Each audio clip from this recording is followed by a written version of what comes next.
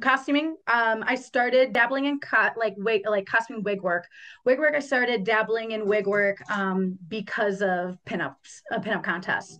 Um when i had the whole side of my head shaved in 2020 i really and it was purple i really was like well this very very traditional pinup contest I can try to make this work, but I can't. So I at that point I hadn't taken any classes. So I watched a couple of drag queen videos on uh, YouTube and made it work and it worked out. I won. I was like, woo.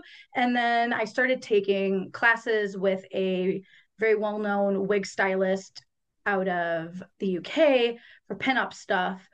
And then it just kind of snowballed from there. Um, kind of just started styling my own wigs for pinup for other people. And then it just my first like pole wig was um my genie wig